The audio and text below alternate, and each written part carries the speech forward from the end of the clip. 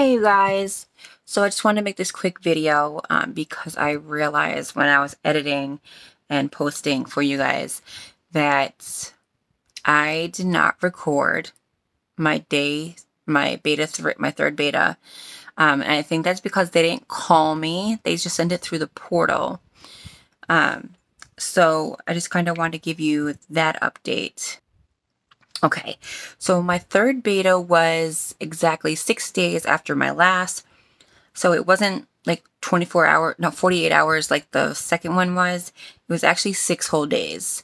Um, so my second beta was, I think 62. I don't really remember. Um, but looking here, my, I don't know if you can really see it, but it is 831.2 was my third beta. Um, my progesterone, um, did they do my progesterone? Let me see.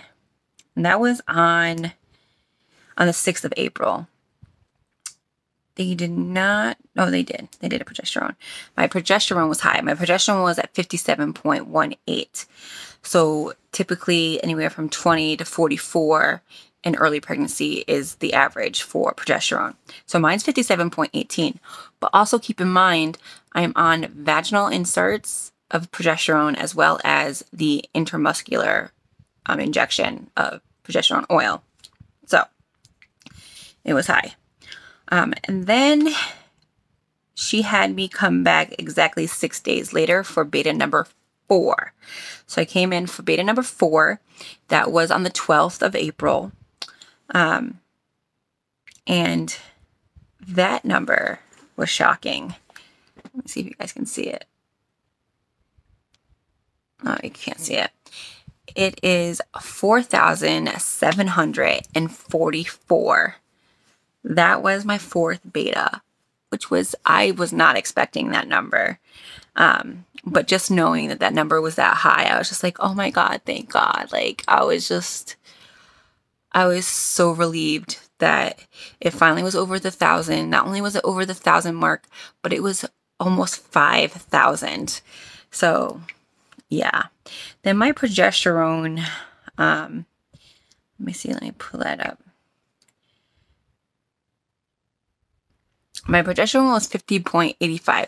I forgot to mention, after my third beta, um, she stopped my intramuscular injections. So, I, and she upped my my vaginal progesterone to to three a day instead of two. So I was no longer taking the muscular injections, and but I was taking three progesterones vaginal.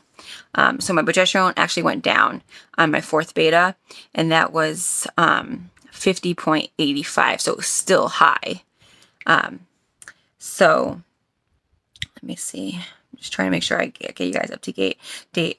Um, in the in the next couple videos, you guys, I do go over the ultrasounds that I had. I did have one, two, three, three ultrasounds with my clinic.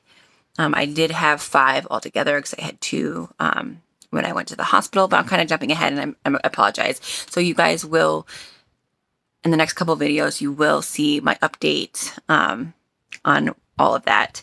So I just wanted to make sure you guys had all the facts um, so I can move on. So you guys, I, I don't want to miss anything. So, so I had four betas. Then my last beta was almost 5,000. So they stopped doing my betas after that because they were they were fine. My numbers were going, they were doubling, they were more than doubling, they were rising, they, they was over the thousands. So they were they were content with what it was. So I no longer had to betas. So yeah, you guys, it's kind of exciting. But okay, until the next video.